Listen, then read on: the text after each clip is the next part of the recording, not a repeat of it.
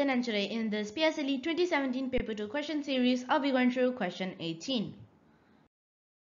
So this is the last question in this question series. So in my channel I am to help you all master all those concepts out there. Okay. So this is question 18. And this question is testing us on circles and area and perimeter. Okay. So let's read the question first. The figure below is made up of a rectangle, semicircles, and quarter circles.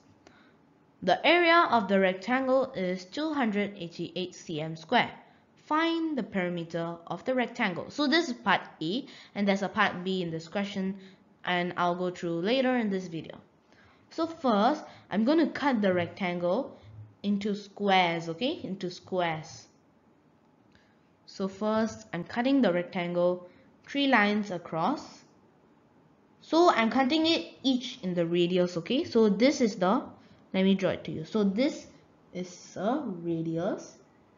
And after this this is a another radius okay? And quarter circles what they have is only radiuses. So everything that I'm doing is a radius okay?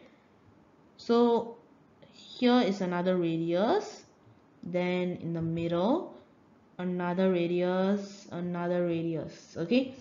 Just keeps on going. Radius radius radius. Then it's the same thing here as well. Radius radius radius radius radius. So all the radiuses are equal. So I hope you understand that. So by now you should have understood that okay? So now that we have made all of them squares I hope I can erase this so that it will be clearer. Okay?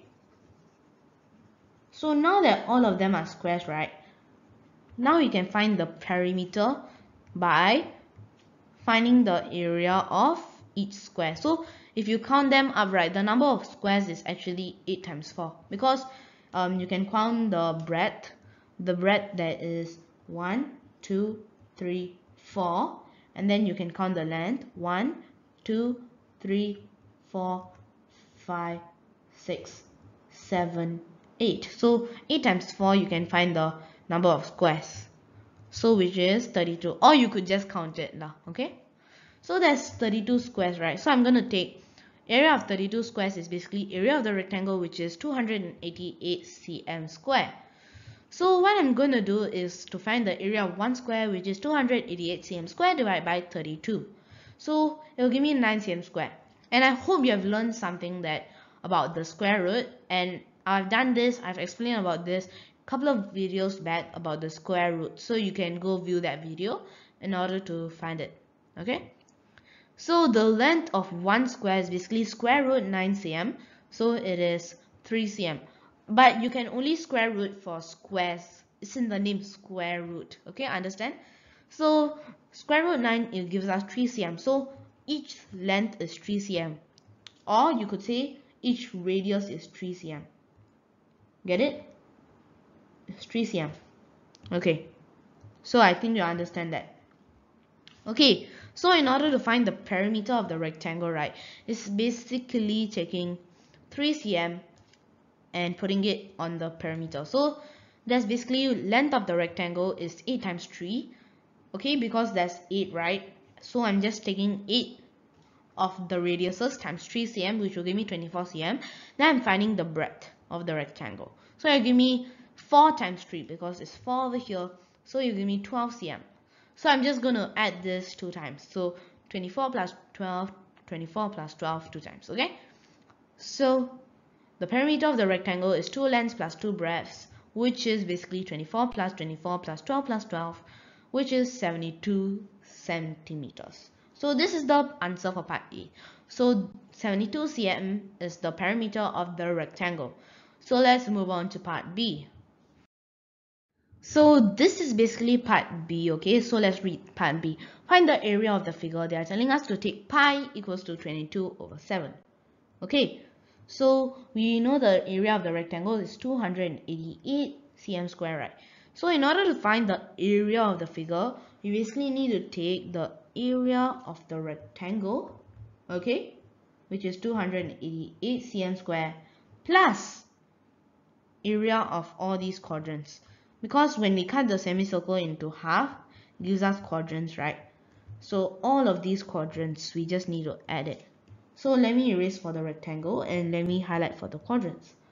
So all these quadrants we need to find it. Okay you can either you can count all the quadrants okay? So for part B area of the figure is basically 28 quadrants. So all of these when you count it is actually 28 quadrants okay? Plus one rectangle this whole rectangle over here.